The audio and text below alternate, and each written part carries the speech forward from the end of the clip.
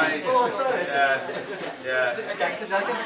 The Blues Brothers, eh? Gangsters. Yeah. Yeah, yeah. He, he, he said that uh, he just had to put on that little ensemble when he saw you monkeying around in yours. You know? Yeah, yeah. You're. They were all giving a talk, so I can't. No, the committee extender was uh, Councilor. I sometimes kind of like to say that. Every singer in town is about three or four or five. Cannot even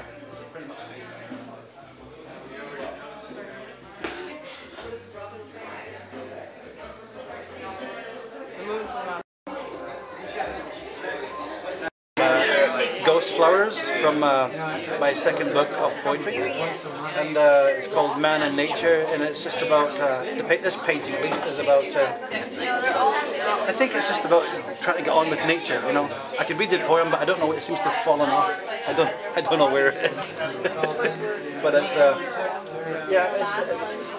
It's probably not. A, it's probably not a good example because the poem's not there. So we can go to this one? Sure, yeah, and that's Windmill Girl, and that's and I, I write poetry to go with each of each of my uh, each of each of my paintings. Uh, I paint the pictures first, um, and the poems come afterwards. Uh, sometimes the poems take on a life of their own, of course, and they go in a different direction. But uh, generally speaking, I write the poetry to try and figure out what the paintings are about, because I'm a fairly intuitive kind of artist. So. Uh, I'm never sure what the paintings mean myself, honestly. So I write poems as a way of trying to figure out what they might mean. Sigmund Freud would just love like he'd love he'd love sit down with me for a while. Sure, absolutely.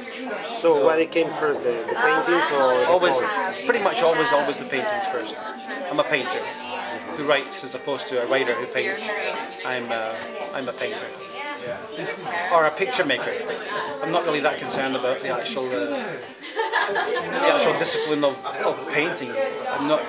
I just want to make images, quite honestly. So I don't want to learn to be a better painter or whatever. And I'm probably not a great painterly painter, but I'm interested in making images and telling stories. My pictures are all always uh, anecdotal. There's usually always a story there behind it. You know.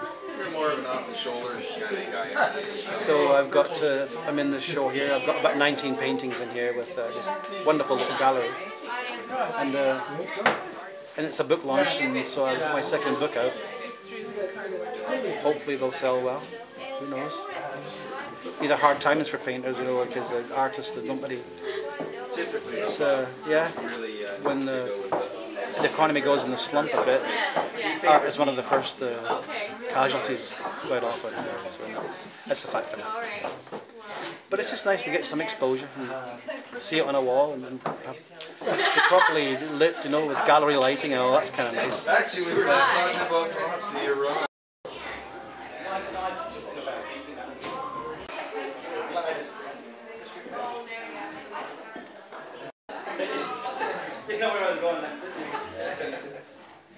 have to get the owner in. We're all dying of bloody. I just stumbled into it. I stumbled into it one day. It's a, And the card? A card?